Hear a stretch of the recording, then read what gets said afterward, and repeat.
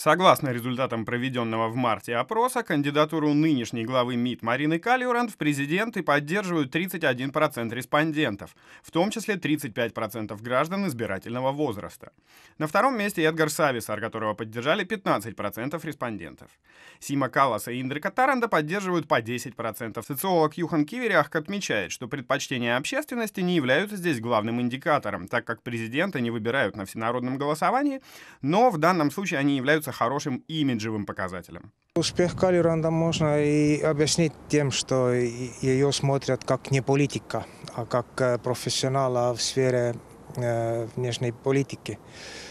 Так что в Эстонии, к сожалению, имидж политика не всегда в пользу, если говорить об общественном мнении. Но, конечно, другое дело, если решения будут принимать политики и, и, э, и как мы знаем, выборов президента мнение народа не очень много считается. Он также отмечает, что специфика избирательного процесса такова, что партии могут выдвигать своего кандидата, имея минимум 21 голос в Риге Когу. Таких партий у нас всего две – центристы и реформа.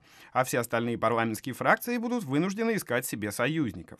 Очевидно, ну, центристы и, и другие партии в Riigikogu э, не, не мирится с этим, что вот э, партия Реформ солирует, у них два сильных кандидата.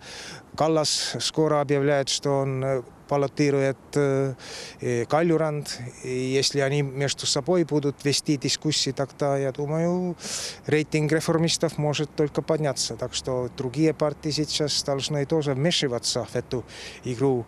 Киверях отмечает, что ситуация прояснится к концу лета, когда станет ясно, решит ли реформистская партия выдвигать Марину Кальюрант или Сима Калласа, который, по всей видимости, уже скоро сделает официальное заявление об участии в президентской гонке.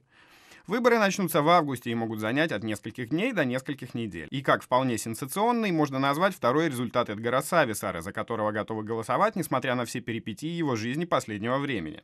Более того, социологи считают, что если Сависар докажет, что его физическое здоровье позволяет ему выполнять такие обязанности, его результат может быть еще выше. Другое дело, что у нас президента выбирает парламент, а значит мнение народа не очень слышно. Разве что надежды на уполномоченных выборщиков, они как раз и могут преподнести сюрприз. Алексей Иванов, Вячеслав Скалецкий, Первый Балтийский канал.